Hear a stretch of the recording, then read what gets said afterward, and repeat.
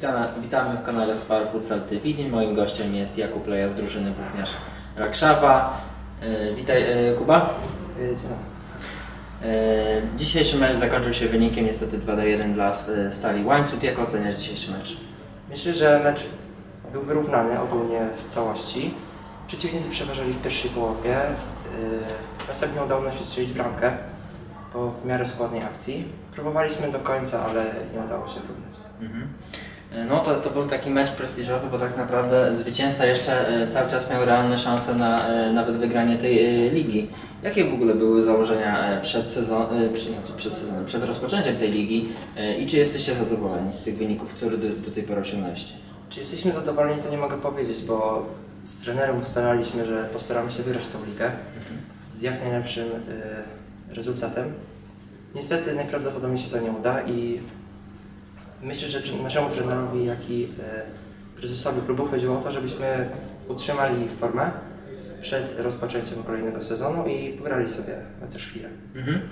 A powiedz mi jeszcze, wracając do meczu, czym Was zaskoczył przeciwnik, czyli Stal Łańcut? Na pewno y, bardzo dobrą grą w obronie. Ciężko było się przebić przez ich defensywę.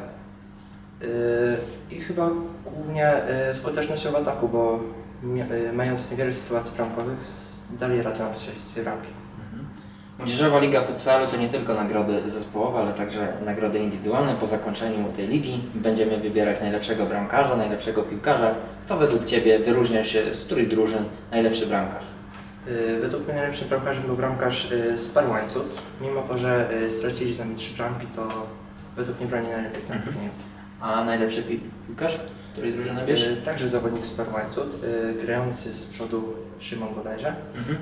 Y, Mając już w tamtej rundzie 10 bramek, zaimponował mi bardzo. Mhm. E, powiedz mi, czy to była dobra decyzja, że zgłoszenie się do tej ligi? Czy jesteście zadowoleni? Y, Tak, decyzja to była na pewno dobra, a czy jesteśmy zadowoleni, to myślę, że tak. Y, U nas obecnie w Rakszawie nie ma hali, nie mamy warunków do trenowania, także takie gierki co niedzielę myślę, że przydadzą sobie się bardzo. Mhm. E, Niedługo zaczynają się pewnie przygotowania już do e, sezonu wiosennego na trawie. Kiedy rozpoczynacie treningi? Myślę, że y, kiedy tylko stopnie śnieg i będzie w miarę ciepło. Y, No i chyba tyle. Myślę, że Mhm. koniec marca, kwiecień. E, Kuba, e, jeszcze jedno takie pytanie. E, Niedawno dołączyłeś do, e, do drużyny z Parłańców, e, uczestniczysz w treningach. Możliwe, że trener da Ci szansę e, w Mistrzostwach Podkarpacia. Jak oceniasz e, treningi? Czy e, co w ogóle skłoniło Cię do zgłoszenia się e, do naszej drużyny? Skłoniła mnie propozycja y, ogólnie zarządu klubu, że mm, myślę, że wyróżniałem się w jakiś sposób i dlatego dołączyłem do tej drużyny. A na trening przyszedłem na początku z ciekawością i w ogóle jak to będzie wyglądało. A co będzie dalej, jak, zobaczymy. a jak wygląda? Jak na No, pierwsze treningi? Bardzo dobrze wygląda. Ogólnie drużyna y, świetna, świetna atmosfera i bardzo fajne treningi. Bardzo fajnie prowadzone. Okej, Kuba, dziękuję za rozmowę, życzę Ci powodzenia i powodzenia jeszcze raz. Ja również dziękuję.